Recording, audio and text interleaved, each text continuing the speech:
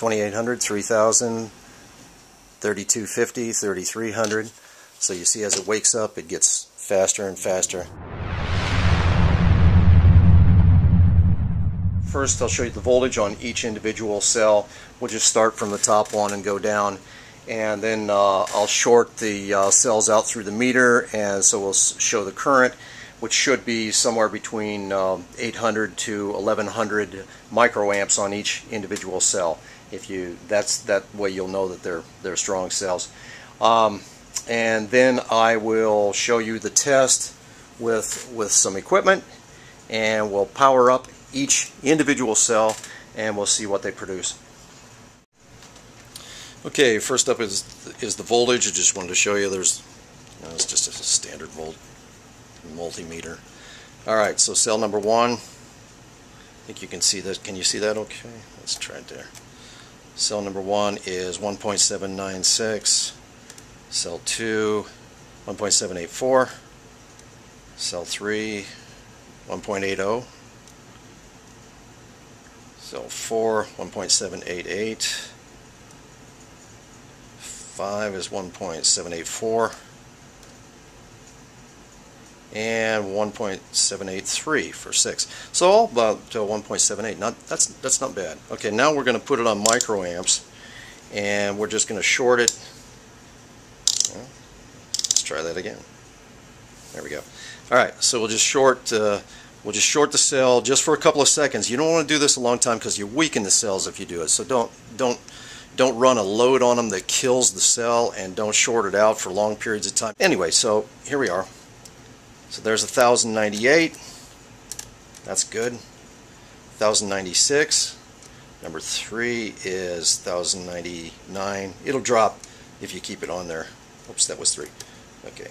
So 4, 1096.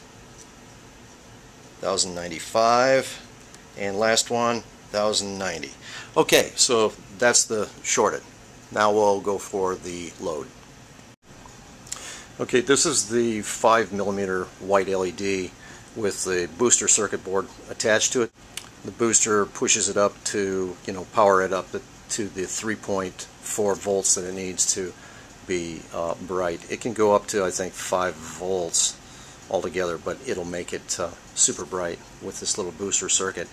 So also then there's this motor. Now I put a little magnet here and here on this motor simply because I've wore this thing out so bad that the, the, the armature rattles a lot. So I put that on and it kind of pulls it up in that in, in that direction and quiets it down a little bit. Uh, that's the only reason. But this is not a 5 volt motor. I might have said that at one time, and maybe it was a different motor because this just came from a box of, of motors. I've got uh, lots of LED, or LED, I've got lots of DC motors, but, but they're all in a box, and I just picked up some small ones. And this one's about one inch in diameter by uh, one and an eighth inch long. And in the front, on stamped into the uh, casing here, you can't see it, but it says Hong Kong. And on the back, on the plastic, on the back there, all it says is Mabuchi. So it's a Mabuchi motor, and it'll run as low as about 0.8 volts. So I'd say it's probably a 1.5 volt motor, maybe 1.2, maybe 2 volts. I don't know, somewhere within that range, small voltage. So it's great for tests because it's a pretty good size motor. It's not one of the little itty bitty pencil sized drone motors.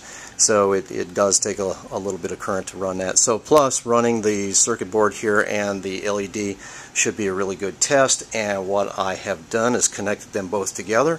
And let's see if each individual cell will uh, twitch this little motor. Maybe just a maybe a little twitch and maybe a dim bulb. Nah, it's not going to do that. You'll see. Okay, I've also got a digital tach here so you can see the speed that, that little motor is going. So let's connect this to cell 1. Alright, so we got a little bit more than a twitch going there. That uh, LED is at full brightness, by the way. I don't know if you can see the numbers on this, but right now that motor is spinning at 3,260, 50. It's coming down a bit. Okay, let's try cell 2.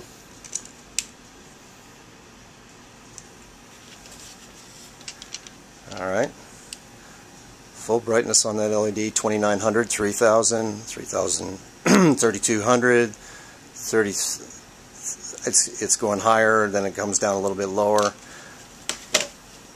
it's doing its job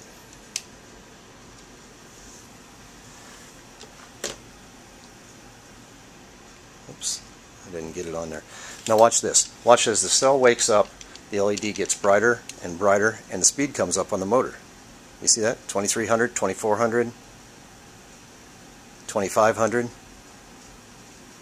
I hope you can see the numbers on this.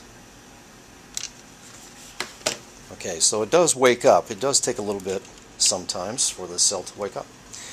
Okay, we're on uh, cell number 4.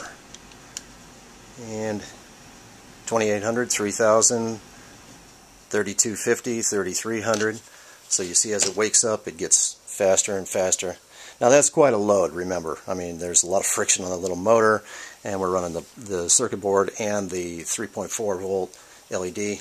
So I just wanted you to see that, yes, we can get a, a 3,000 RPM twitch out of that motor. So it's, uh, and it's starting up. It's waking up. 2600 was 2400, 2800. and back to 27 so it's going to come up and down because we're really pulling a lot to run both devices at the same time. And the last cell. Look at that. See how dim the LED is when it starts? And it gets brighter and brighter until it's at full brightness. And of course the RPM is climbing while it's doing that too. 2800 so there they are. They're good